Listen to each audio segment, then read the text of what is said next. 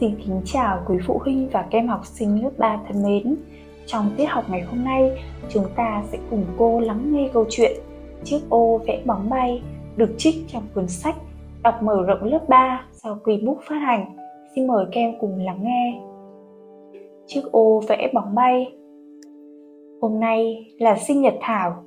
Mẹ tặng cô bé một chiếc ô vẽ bóng bay rất đẹp. Thảo vui lắm chưa bao giờ em có một chiếc ô riêng của mình. Mỗi khi trời mưa, thảo luôn phải che nhiều ô của bạn trong lớp. Đẹp quá mẹ ơi! Vậy là ngày mai con sẽ có ô mới mang đi học rồi. Thảo thích thú reo lên. Mẹ nhìn thảo vui mừng khôn xiết. Mẹ biết, con gái vẫn luôn ao ước có một chiếc ô.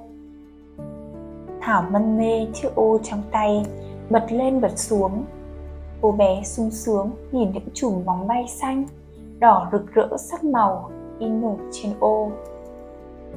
Chị ơi, em thích bóng bay. Em thích bóng bay. Chị cho em đi. Em trai trông thấy chiếc ô có hình bóng bay, đòi rối rít.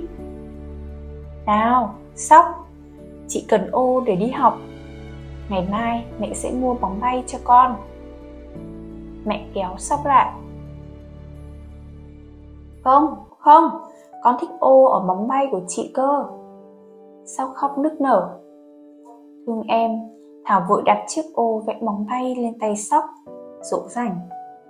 Chị cho Sóc này, chị lớn rồi, không thích bóng bay nữa. Nhưng khi nào trời mưa, Sóc có thể cho chị mượn ô bóng bay được không? Hai chị em mình cùng chơi nhé. Thế thế, Sóc ôm choàng lấy tay chị và chiếc ô Dạ được ạ.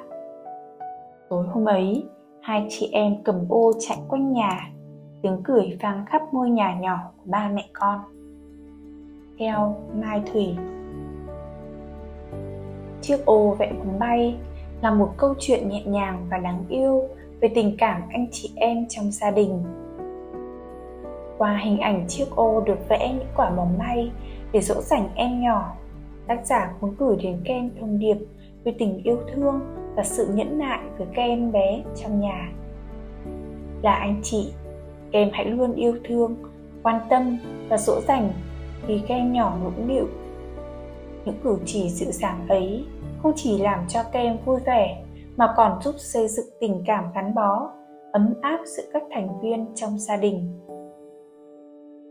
Vậy là chúng ta đã nghe xong câu chuyện chiếc ô vẽ bóng bay được trích trong cuốn sách đọc mở rộng lớp 3 do quý bút phát hành.